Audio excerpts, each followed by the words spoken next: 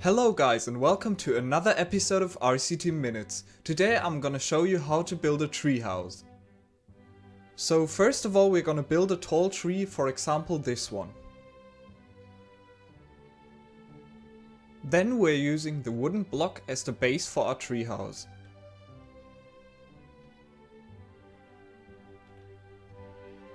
Next up we're gonna add some walls and a roof.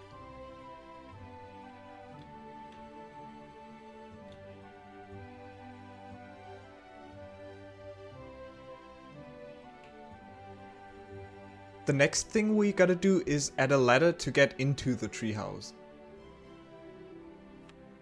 We'll build our ladder by using the steel wild mouse like that.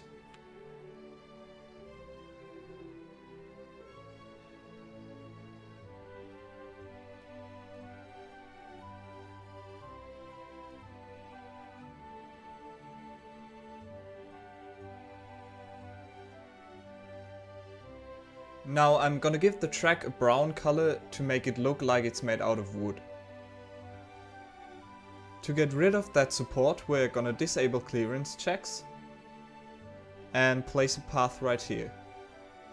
Now we'll open the tile inspector, select that tile and decrease the base height of that footpath. Now we have to add some more leaves around the tree to make it look bigger.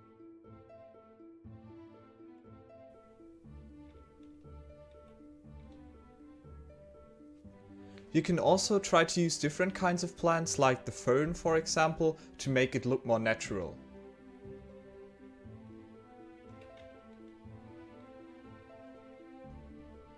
The last thing we gotta do is open the tile inspector once again and select the tile with supports on it and then select the surface and move it to the top of the tile inspector order and repeat that for every tile.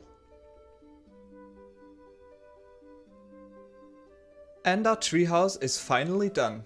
So that's it for today, I hope that you had some fun and see you next time.